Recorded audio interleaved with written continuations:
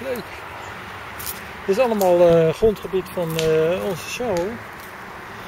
En eh, ja, het ziet dus in feite zien we in de verte.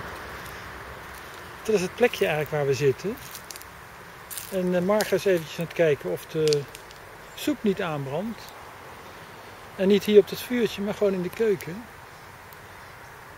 Dat is perfect, hè? Dit is niet het huis, maar dit is het. hoe noemen jullie dit?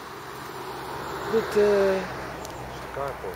een carport. Oh ja, de carport. En daar staat ook natuurlijk het hout op eh, opgesteld. En eh, ja, als je dan zo doorloopt, dan zie je dus de reubel. De reubel. Moraspaardenstaart. Wat is dat? Moraspaardenstaart in het dialect. Oh, een reubel. Zo. Ja. Dan komen we dus bij het, het grondgebied van Shell aan. Ik zag hem daarnet zag ik hem hier vanaf fietsen, vanuit zijn werk. En eh het is mooi zeg. Het ziet er goed uit.